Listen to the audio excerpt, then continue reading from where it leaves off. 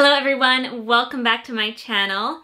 As you can see from the title today, I have some very exciting news to share with you, and that is that I am pregnant. I'm actually pretty far along now. I'm partway through my third trimester, expecting a little baby this summer. And that is the main reason why I haven't been around here as much lately. The fatigue set in in the first trimester, and I gotta tell ya, it never left.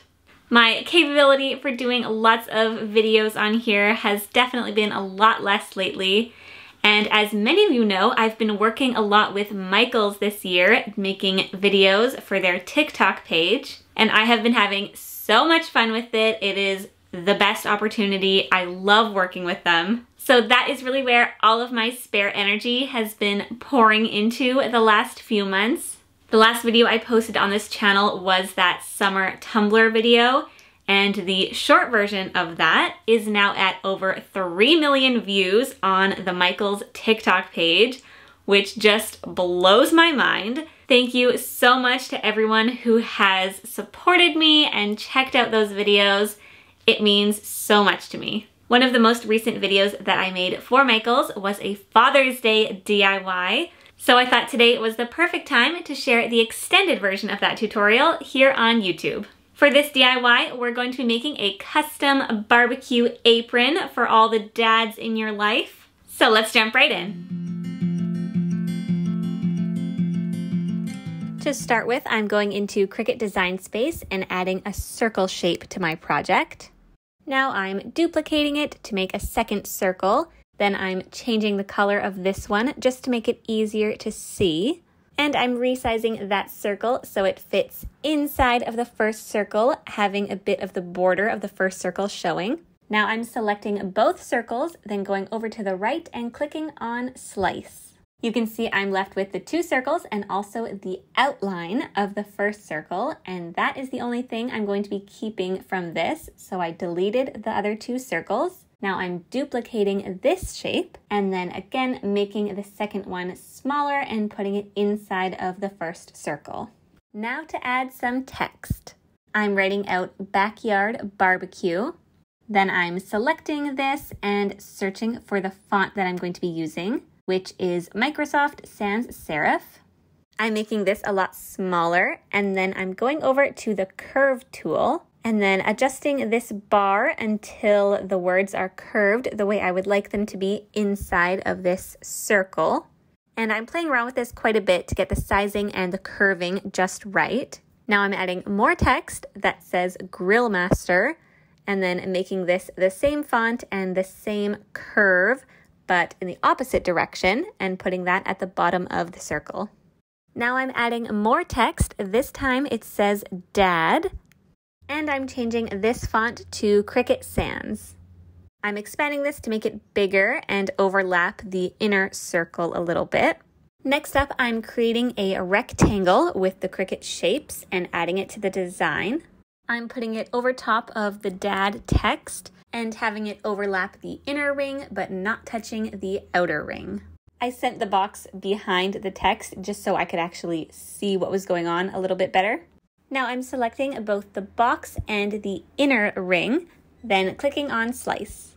Now I'm removing all of the parts I don't want and I'm left with the inner circle being cut out so the dad text is not overlapping any of the lines. Now I'm going into the Cricut images and searching for barbecue and I filtered for free so it's just showing me all of the free images and I'm going to choose this little mini barbecue here and I'm moving that up to the top of my design above the letter A. Next, I'm importing these barbecue tools, which is an SVG I found for free online. And I only want the first two tools, so I'm deleting the other two.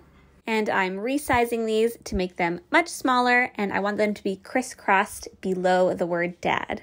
To finish off this design, I'm going to be using the slice tool again. I'm adding another rectangle, this time just over top of the middle part of the A in dad. I'm selecting the dad text along with the small rectangle, then clicking on slice.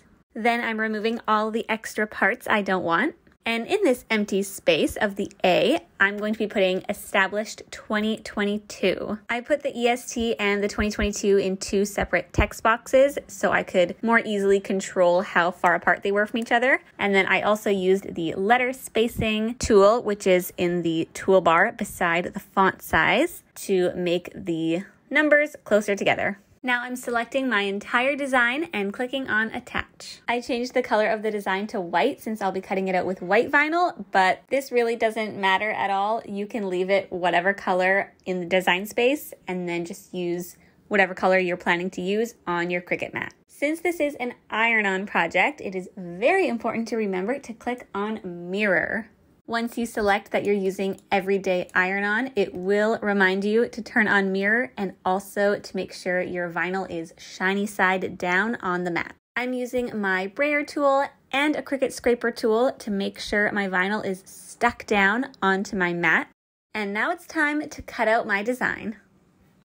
For this project, I'm using this black apron I found at Michael's. And before I do anything, I'm using a lint roller all over the apron to make sure there's no dust or hair before I iron on the design. Using my Cricut Easy Press 2, I'm preheating the area on the apron that I'm going to be ironing onto, holding it there for 10 seconds. I also have my Cricut Easy Press mat underneath the apron. I weeded out my design and now I'm arranging it onto the apron where I'd like it to go. Then I'm adding a layer of parchment paper over top of the design. Make sure to look up the heat guide on Cricut to know what temperature to set the Easy Press to and how long to hold it for. Now that the 30 seconds is up, I'm flipping the apron over and doing just a 15 second press on the back of the apron.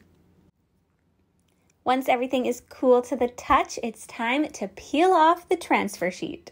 If you notice anything is not coming up really easily, then you may need to press that specific area again. And this is the finished custom barbecue apron, perfect for Father's Day, but of course you could also use any of these techniques to make other designs for any time of the year.